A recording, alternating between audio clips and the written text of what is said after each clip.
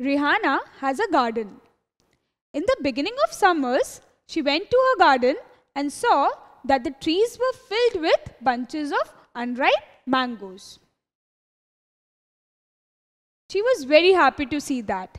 Now she was thinking when, the, when would those unripe mangoes would ripe and so she could change the delicious fruit of summer. So ripening of the mango is desirable for her. Now, in the summer vacations, she went on a tour to Darjeeling and forgot about the mangoes. After the tour, when she returned, she went to her garden, but she found this. All the mangoes in her garden had already rotten. This was not what she had desired. So rotting of mangoes here is undesirable change for her.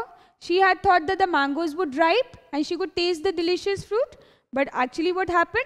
The mangoes rotted. So we can say that changes can be classified into two ways like desirable change and undesirable change. So what is a desirable change? Desirable change are changes that are useful to us, that we want to happen. Such as formation of curd from milk. Curd forms from milk overnight. This is a desirable change as we want to taste the delicious curd. Now what about spoilage of food? Is it desirable? No, it is not desirable because it is harmful to us. We cannot eat the spoiled food. So what is an undesirable change? Change that are harmful to us, that we do not want to happen. Now answer this. Destruction caused by floods. Is it a desirable change or undesirable change?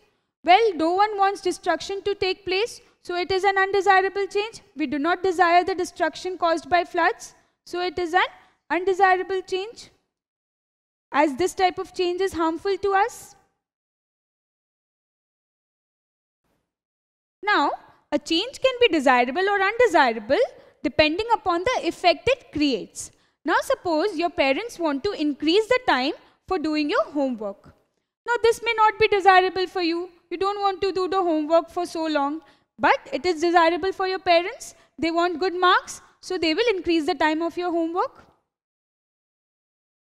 Now, burning of fuel to generate electricity. This is a desirable change as it will give us electricity but it also causes pollution. This is undesirable. So it is desirable for some people but also undesirable as it, it creates pollution.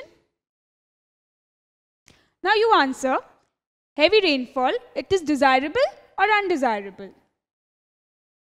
Well, you may say that it is undesirable. You want to go and play outside, but due to heavy rainfall you cannot go, so it is undesirable. But it is also desirable for farmers as they need heavy rainfall to grow crops. So we learn that changes can be classified into desirable and undesirable changes.